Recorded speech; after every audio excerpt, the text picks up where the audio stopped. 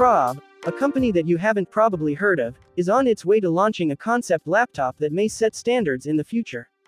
Craob X is the company's portless Ultrabook offering that doesn't have any ports, has a slim 7mm design, and has no bezels. The Craob X is yet to officially arrive but ahead of its launch, My Laptop Guide has revealed plenty of its details. The laptop comes with a 13.3-inch display with a 4K resolution. It has a punch-hole display with no visibility of thick bezels. As said earlier, it is claimed to be the world's first portless laptop.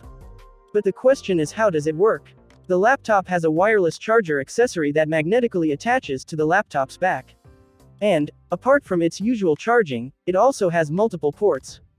The dongle-looking accessories also acts as a ports hub video cards. It has a USB Type-C port and Thunderbolt port, audio jack, and an SD card reader slot. So, while the charger is plugged, it can wirelessly charge as well as transfer and receive files. Apart from being a looker, it also has the latest internals.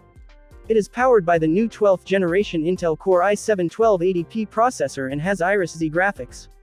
It has up to 32 GB of RAM and has 2 TB of PCIe SSD. Wi-Fi 6E is one of its connectivity options. It is 7mm in thickness, which does make the laptop look like a slim slate. It has a chiclet-style keyboard and a fairly sized trackpad. For more updates about the laptop, please subscribe.